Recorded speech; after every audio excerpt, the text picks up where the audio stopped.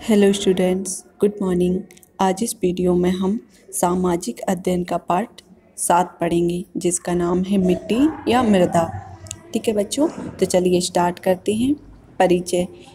मिट्टी अर्थात मृदा हमारे सबसे महत्वपूर्ण प्राकृतिक संसाधनों में से एक है। यह प्रकृति द्वारा दिया गया अमूल्य उपहार है। हम अपने दैनिक जीवन की समस्त आवश्यकताओं को पूर्ण करने के लिए प्रत्यक्ष या अप्रत्यक्ष रूप से मिट्टी पर निर्भर रहते हैं। तो बच्चों, इस चैप्टर में हम मिट्टी या जिसको बोलते हैं मृदा, उसके बारे में पढ़ेंगे।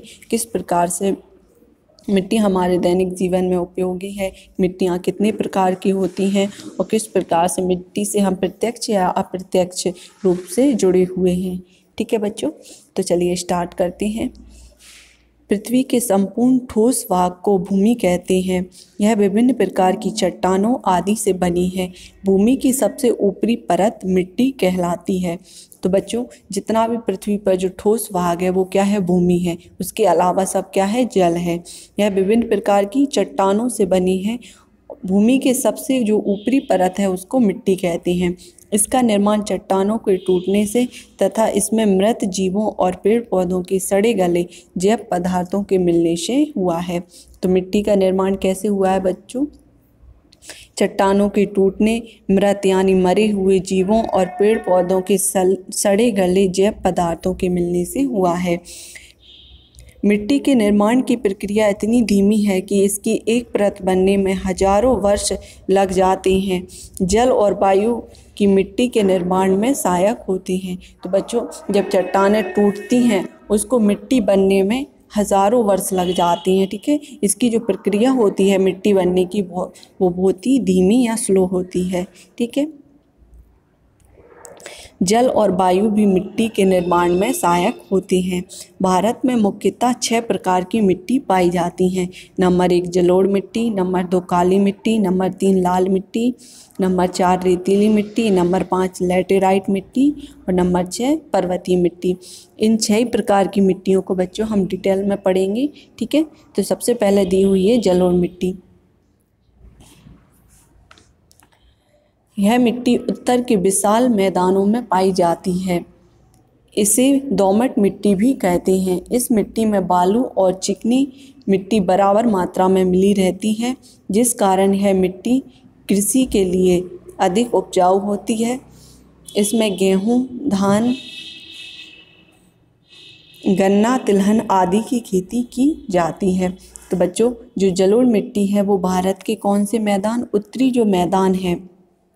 यहाँ पर जो दिख रहा है मैप में, ये ये वाला भाग, ठीक है? इसमें कौन सी मिट्टी पाई जाती है? जलोढ़ मिट्टी, ठीक है? ये ग्रीन कलर से बना हुआ है। ग्रीन ग्रीन जो दिख रहा है, उसमें कौन सी मिट्टी है? जलोढ़ मिट्टी है, ठीक है? और इसको दोमट मिट्टी भी कहती हैं। इस मिट्टी में बालू और जो चिकनी मिट्टी होती है, वो बराबर मात्रा में मिली होती है, ठीक है? इसलिए इस मिट्टी में जो कृषि होती है, वो कैसी होती है, अच्छी होती है और यह मिट्टी अधिक उपजाऊ होती है। ठीक है बच्चों, और इसमें प्रमुख फ़सलें कौन कौन सी होती हैं? गेहूँ, धान, गन्ना, तिलहन आदि। ठीक है, आगे दी हुई है अगली मिट्टी, काली मिट्टी। काली मिट्टी दक्षिण के पठार उत्तरी भाग में पाई जाती है। दक्षिण का पठार है, उसके उत्तरी भाग में पाई जाती है। इसका निर्माण ज्वालामुखी से निकलने वाले लावा तथा उससे बनी चट्टानों से होता है। राख की मात्रा अधिक होने के कारण यह मिट्टी बहुत उपजाऊ होती है। यह मिट्टी कपास की खेती के लिए सर्वाधिक उपयोगी होती है। इसके अतिरिक्त इसमें गेहूँ तथा गन्ना भी गन्ना की भी पैदेवार पैदावार अच्छी होती है। तो बच्चों, हम मैप में देखते हैं, काली मिट्टी भारत में कहाँ पाई जाती है?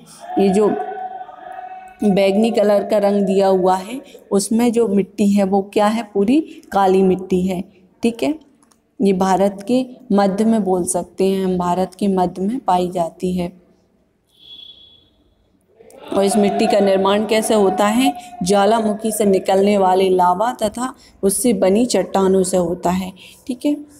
और इसमें प्रमुख फ़सल कौन कौन सी बोई जाती हैं? प्रमुख जो फ़सल होती है वो कपास के लिए बहुत अच्छी होती है। इसके अतिरिक्त गेहूँ व गन्ना की भी खेती की जाती है, ठीक है? साइड में एक बॉक्स दिया हुआ है, क्या आप जानते हैं? एक औसत मिट्टी में पैंतालीस प्रतिशत खनिज, पचास सॉरी बच्चों, पच्चीस प्रतिशत जल पच्चीस प्रतिशत वायु तथा पाँच प्रतिशत जैव पदार्थ होते हैं। ठीक है? आगे है लाल मिट्टी। दक्षिण पठार के अन्य भागों में कंकड़ीली तथा पथरीली मिट्टी पाई जाती है, जिसे लाल मिट्टी कहती हैं। इस मिट्टी में लोहित तत्व की अधिकता होती है। यह मिट्टी कम उपजाऊ होती है। इसमें ज्वार, बाजरा, मूंगफली आदि की खेती की जाती है। तो जो लाल मिट्टी होती है बच्चों, वो दक्षिण के पठारी भागों में पाई जाती है। हम मैप में देखते हैं ऊपर। ये जो रेड रेड कलर से दिखा, दिया हुआ है, ये कौन सी मिट्टी है? लाल मिट्टी है। ठीक है? ये कहाँ पर पाई जाती हैं? दक्षिण के पठार में। ठीक है? और ये कैसी होती है? कंकड़ीली तथा फतरीली मिट्टी होती है। ठीक है? इसका रंग जो होता है, वो लाल कलर का होता है। और इसमें रंग किस वजह से लाल होता है? इसमें लोह तत्व की अधिकता होती है, ठीक है? और ये मिट्टी होती है, वो बहुत कम उपजाऊ होती है। इसमें ज्वार, माजरा, बाजरा, मूंगफली आदि की खेती की जाती है, ठीक है बच्चों?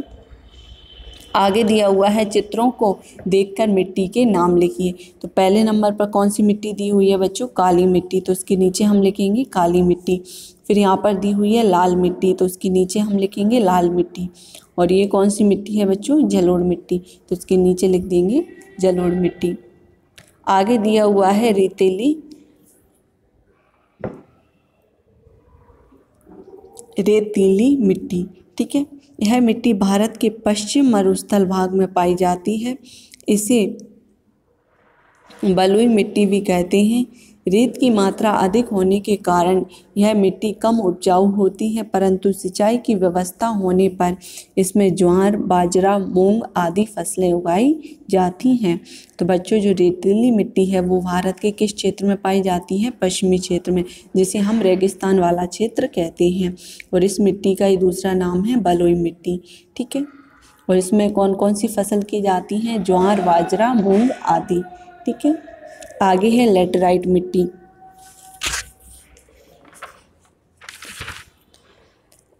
लेटेराइट मिट्टी समुद्री भागों में पाई जाती है। इसका निर्माण चट्टानों द्वारा होता है। यह ईंट के रंग जैसी होती है। यह मिट्टी रेतीली तथा लाल मिट्टी की अपेक्षा अधिक उपजाऊ होती है। यह चाय, कहवा, काजू आदि की फ़सलों के लिए अच्छी होती है। तो बच्चों, जो लेटेराइट मिट्टी होती है, वो कहाँ पाई जाती है? समुद्र तटीय भागों में। और इसका निर्माण कैसे होता है? चट्टानों द्वारा होता है और इसका रंग जो होता है, वो ईंट के जैसा होता है, ठीक है? और यह मिट्टी, रेतीली मिट्टी और लाल मिट्टी की अपेक्षा अधिक उपजाऊ होती है। और इसमें जो प्रमुख फ़सलें उगाई जाती हैं, वो कौन कौन सी हैं? चाय, कहवा, काजू आदि, ठीक है? आगे है अगली, पर्वतीय मिट्टी। पर्वतीय मिट्टी हिमालय के पर्वतीय भागों में पाई जाती है। यह मिट्टी लाल रंग की तथा कंकड़ पत्थर युक्त होती है। इस मिट्टी में चूने तथा लोहे का अंश अधिक होता है। पर्वतीय मिट्टी अधिक उपजाऊ नहीं होती। यह मिट्टी फलों की उपज के लिए अच्छी मानी जाती है। इसके अतिरिक्त इसमें चाय, मसाले आदि उगाए जाते हैं। तो बच्चों, जो पर्वतीय मिट्टी है, वो अधिकतर कहाँ पाई जाती है? हिमालय पर्वत वाले भागों में, ठीक है? और ये कैसी रहती है? कंकड़, पत्थर युक्त होती है और यह अधिक उपजाऊ भी नहीं होती है, ठीक है? और इसमें जो फ़सलें मुख्य उगाई जाती हैं, वो कौन कौन सी होती हैं? फलों की खेती अधिकतर होती है यहाँ पर, फिर उसके अलावा चाय और मसा, मसाले की फ़सल भी उगाई जाती है, ठीक है बच्चों?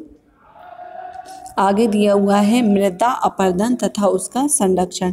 तो मृदा अपर्दन क्या होता है बच्चों? और उसका संरक्षण किस प्रकार से करना चाहिए? उसके बारे में हम पढ़ते हैं। तेज आंधी, बाढ़, वर्षा, पशुओं का अतिचारण आदि बाह्य कारणों से भूमि की ऊपरी परत नष्ट हो जाती है। इस बाह्य कारणों से भूमि की ऊपरी परत का नष्ट होना मृदा अपर्दन कहलाता है। मृदा अपर्दन मृदा अपर्दन के कारण भूमि की उर्वरा शक्ति कम हो जाती है। तो बच्चों, मृदा अपर्दन कैसे होता है? तेज आंधी, बाढ़, वर्षा, पशुओं का अतिचारण, यानी अत्यधिक चारण से, आदि बाहरी कारकों से भूमि की जो ऊपरी परत है वो नष्ट हो जाती है। ठीक है? इन बाह्य कारणों से भूमि की ऊपरी परत का नष्ट होना ही क्या कहलाता है? मृदा अपरदन।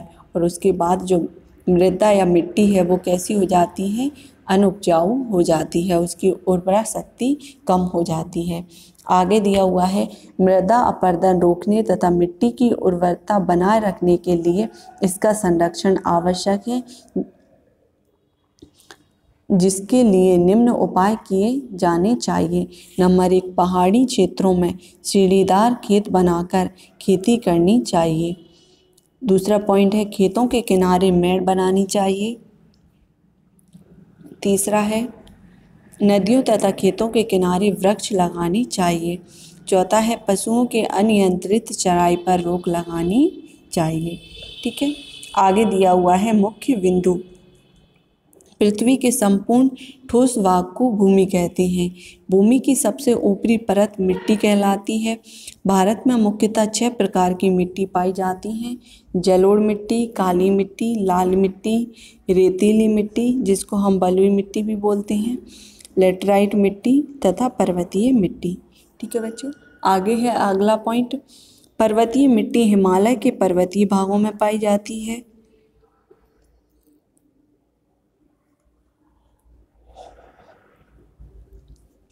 तेज आंधी, बाढ़ वर्षा आदि बाह्य कारकों से भूमि की ऊपरी परत का नष्ट होना मृदा अपरदन कहलाता है।